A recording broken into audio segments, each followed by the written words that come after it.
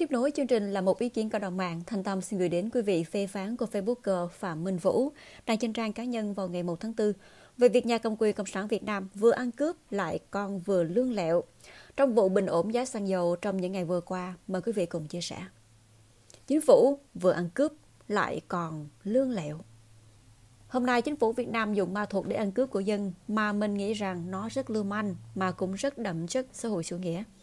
Chuyện là họ tuyên bố giá xăng hôm nay giảm tới 1.030 đồng một lít, nhưng thực tế có phải như vậy không?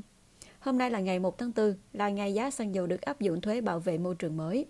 Theo đó, mỗi lít xăng sẽ giảm 2.000 đồng thuế MT, thuế môi trường trước đây là 4.000 và cũng đúng ngày điều chỉnh giá xăng theo quy định 10 ngày một lần. Họ tuyên bố giảm hơn 1.000, tổng giảm thuế môi trường là giá xăng đúng ra là giảm 3.030 đồng mới chính xác. Kỳ điều chỉnh lần trước giá xăng A92 là 28.985 đồng mỗi lít. Tới hôm nay nếu giảm như chính phủ thông báo thì chỉ còn 25.955 đồng. Nhưng tại sao xăng A92 hôm nay tới 27.300 đồng? Vậy là chính phủ tăng gần 2.000 đồng chứ có giảm một cách nào đâu. Chính phủ Cộng sản Việt Nam ăn cướp như trên một đàn, họ lại chơi thêm một chiêu để ăn cướp kiểu double là tăng thêm giá dầu hơn 1.500 đồng một lít. Mà như chúng ta biết, dầu là một loại nhiên liệu không thể thiếu trong việc vận chuyển hàng hóa. Nó là một mặt hàng tối quan trọng trong nền kinh tế. Vì khi giá dầu tăng thì đồng nghĩa mọi hàng hóa tăng theo, vì chi phí vận chuyển cao. Nó đánh trực tiếp vào túi tiền hay chén cơm của người dân, nhất là người dân nghèo đang chạy ăn từng bữa, thì các đòi chính phủ ăn cướp một cách trắng trợn.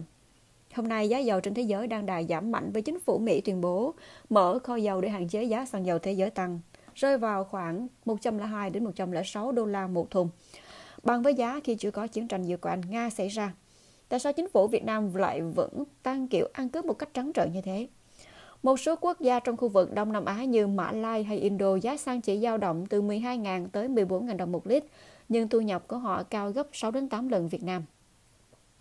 Tại sao Việt Nam lại xuất khẩu dầu thô, khai thác hàng triệu tấn hàng năm lại để giá xăng dầu cao trong top đầu thế giới? Trong khi chiến tranh Ukraine-Nga xảy ra biến động xăng dầu thế giới tăng, nhiều quốc gia sợ lạm phát đã tung nhiều gói hỗ trợ giúp người dân và doanh nghiệp ổn định cuộc sống. Như Hàn, Nhật chọn giải pháp tăng lương, Pháp thì giảm 0.16 đô la trên mỗi lít nhiên liệu.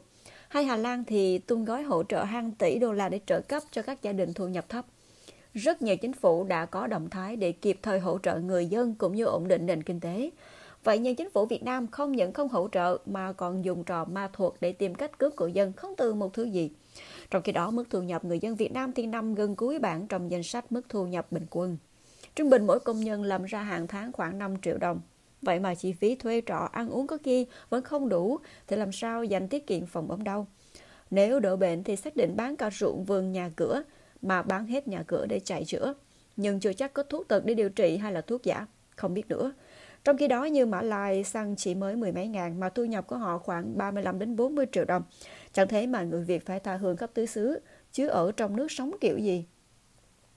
Chưa kể Việt Nam là một quốc gia xuất khẩu dầu thô, tài nguyên thiên nhiên ban tặng đến thế, may mắn hơn nhiều quốc gia khác, thế mà dân vẫn tha phương đi làm cu ly khắp nơi, dân mãi nghèo, mặc dù cố gắng làm tất cả mọi thứ.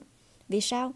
Vì dân tộc ta bất hạnh thay khi có một đảng Cộng sản lãnh đạo chỉ biết ăn tàn phá hại, chẳng chịu nghĩ cách làm giàu cho quê hương, mà quan chức đứa nào lên cũng vơ vét bon rút. Mặc cho quốc gia trong gần dậy chết, đất nước lụi tàn chúng vẫn ăn, ăn không chừa một thứ gì. Để làm gì vậy? Để xây dựng thiên đường bên trời Tây, chứ họ làm gì có lý tưởng hay vì dân vì nước gì chứ. Cướp mà còn lương lẹo thế là cùng.